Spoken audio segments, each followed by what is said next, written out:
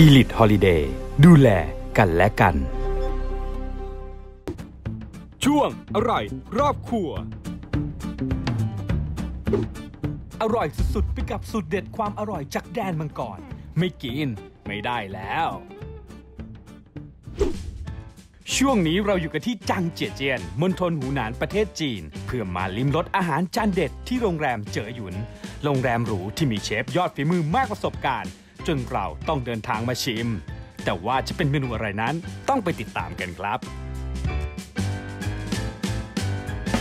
วอเชียววอเชียว สวัสดีครับเชฟ คุณผู้ชมครับเราอยู่ที่โรงแรมเจอเจอหยุนเจอหยุนคุณผู้ชมครับ เราอยู่กับเชฟทางคุณผู้ชมครับ เชฟทางนี่เป็นเชฟยอดฝีมือในการทำปลาเลยครับ ปลาชุนหยูนี่เป็นปลาน้ำจืดที่ มีขนาดพอสมควรขนาด สี่กิโล 4กิโลคุณผู้ชมครับ หั่นแล้วแรกมาเป็นนี่ นี่เป็นสองอย่างเลยนะ เป็นสองอย่างเลย เมนูนี้ชื่อว่าชวนฉ่ายหยู 酸菜鱼， ชวนฉ่ายหยู 嗯， ชวนช่ายก็คือก็คือเจ้า ผัด ผัดดองคุณผู้ชมครับ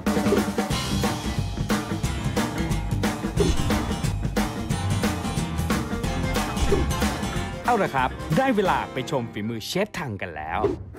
ใส่น้ำมัน น้ำมันมัสตาร์ดที่ว่านี่เป็นมัสตาร์ดที่ปลูกในเมืองนี้นะครับ เมืองนี้ปลูกเยอะมากนะครับ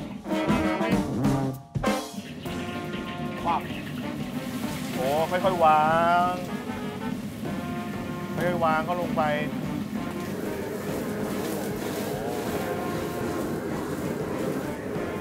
เรียกว่าตะหลิวนี้ไม่โดนตัวเนื้อปลาเลยนะครับอะไรอะขิงครับเชียร์ก็อีเดีย นะคุณผู้ชมว่าไม่เอาตะหลิวลงไปคนเลยนะฮะแตะแตะเล็กน้อยให้เขาแตกจากกันเท่านั้นนะครับ เอาแล้วกระดกแล้วรอบเดียวปุ๊บรอบเดียวเรียบร้อยหมดทั้งกระทะยังไม่ได้ใส่เครื่องปรุงอะไรเลยนะเป็นน้ำมันเท่านั้นเป็นน้ำมันกับน้ำมันหมูสองอย่าง แล้วก็ขิงเดี๋ยวเอาน้ำเดือดเทลงไปใส่มาดูวิธีเทเขาน่าค่อยๆก่อน โอ้โหน้ำลงไปนี่ท่วมตัวปลาเลยนะครับ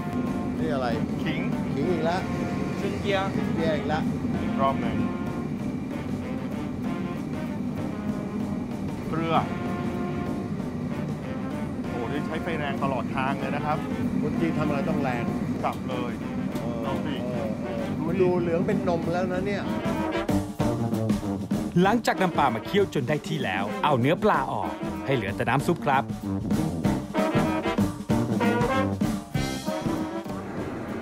ชม โอ้โห โอ้ มันจะเป็นแบบเนื้อปลาที่เขาสับๆลงไปอะ นี่ได้น้ำซุปมาแล้ว ขั้นตอนต่อไปนำเนื้อปลาสดที่เตรียมไว้มาลวกครับ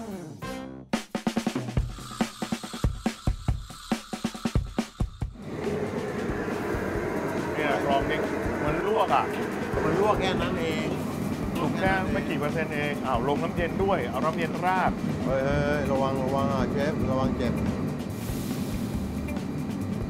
เราอดกินไม่เป็นไรหรอกเชฟอย่าเจ็บนี่ใส่ผักกาดดองอ๋อโอ้อากาศดองลงไปแล้วนะครับ เติมผงปรุงรสคลุกเคล้าให้เข้ากัน จากนั้นนำเนื้อปลาที่ลวกเตรียมไว้ใส่ลงไป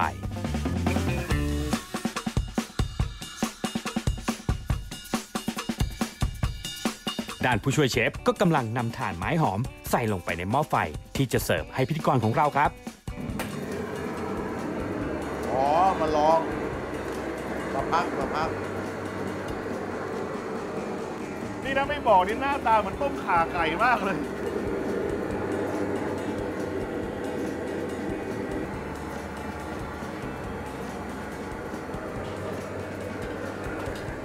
ยังไม่เสร็จเท่านี้นะครับคุณผู้ชม ขั้นตอนสุดท้ายนำพริกกับกระเทียมมาผัดในน้ำมัน เพื่อเพิ่มความหอมชวนลิ้นครับมันแน่แค่เนี้ยอ๋อโอ้โหหอมอะก็หอมสับต้นหอมโอ้เยี่ยมเลยโรยต้นหอมปิดท้ายพร้อมเสิร์ฟกับเมนูชวนฉ่ายหยูปลาต้มเปรี้ยวหวาน เสิร์ฟบนหม้อไฟร้อนๆ เนื้อปลาเน้นๆอื้อหือน่ากินจริง ๆ ครับคุณผู้ชม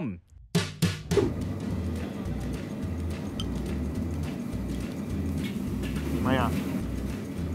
ยังไม่ได้ชิมเลยทำไมอะเขาเปลี่ยนเป็นถ้วยใหญ่อย่างนี้เลยอร่อยตกใจหมดเลย มันมีเผ็ดนิดๆ มีเค็มหน่อยๆ และหอมขิง ข้าวเปล่ามาเลยได้ไหมยคุณผู้ชมครับ ตัวซุปเรียกว่ามันหอมมาก ลองตัวปลาอีกทีครับ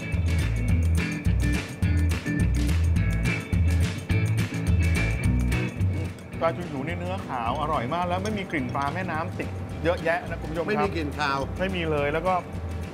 เป็นเพราะว่าเอาแต่ ขิงไปดับหรือเปล่าน่าจะเป็นไปได้ เนื้อแข็งที่ได้นะฮะ แต่ไม่ได้ถึงขนาดแข็งมากเย็บไทยแลนด์กูไม่ไม่ไปมาเลยไปด้วย ไป ไปด้วย ไปด้วย คุณผู้ชมปลาชุนหยูต้มผักกาดของฝีมือเชฟเนี่ยบอกเลยว่ารสชาติ มันหอมเผ็ดหูหนานิดอุดมไปด้วยน้ำอุดมไปด้วยทะเลสาบนะนะเขามีชื่อเสียงทางเรื่องของการทำปลานะครับ โดยเฉพาะปลาน้ำจืด โดยเฉพาะฝีมือของเชฟทังสุดยอดจริงๆเชคุณฟผู้ชฟังม thank you thank you สุดยอด คุณผู้ชมครับ นี่คือเรื่องราวของรอบจานรอบโลกที่ดันโดนมาหาอาหารอร่อยๆจากฝีมือยอดเชฟแบบนี้ สัปดาห์หน้าเราไปไหนกันอย่าลืมติดตามชมรอบจานรอบโลกครับ วันนี้เราสองคนรวมถึงเชฟพังลาคุณผู้ชมไปก่อนครับ สวัสดีครับสวัสดีครับ เชฟพังขอบคุณครับ สวัสดีครับ สวัสดีครับ Thank you เชฟตังครับ รอบจานรอบโลกสัปดาห์หน้าพบกับ ชิมสุดเด็ดความอร่อยจากโรงแรมระดับพรีเมียม ไม่กิน ไม่ได้แล้ว รอบจานรอบโลก